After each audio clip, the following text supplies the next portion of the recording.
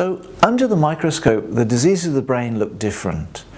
Parkinson's disease generally affects the cells that produce a chemical called dopamine, a neurotransmitter in the brain. So those cells start low down in the brain, in the midbrain called the substantia nigra, the black substance, and then project up to the middle of the brain, what we call the basal ganglia. And the basal ganglia are like mission control in the brain. They, they regulate all the activity for physical activity, such as motor function, as well as thinking and mood are all affected because the pathology of losing that dopamine in the brain uh, affects all the circuits that go through that region, the basal ganglia or the striatum of the brain.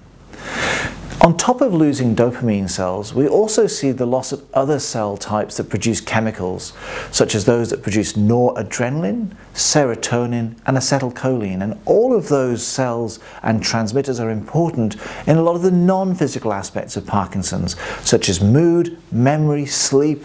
And I think it's important to recognize uh, that these often overlap and making our challenge much harder when we're treating Parkinson's disease patients.